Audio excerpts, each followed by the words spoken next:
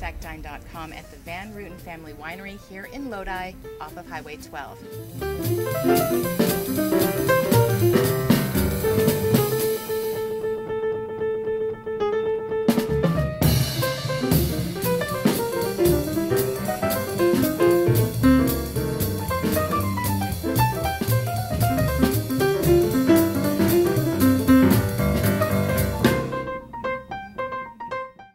When you come into the Van Ruiten Winery, which has been here since about September of 99, you will notice all the awards that they display on their mantle here because they have won so many gold, silver, and bronze awards throughout the country, here in California all the way to Florida.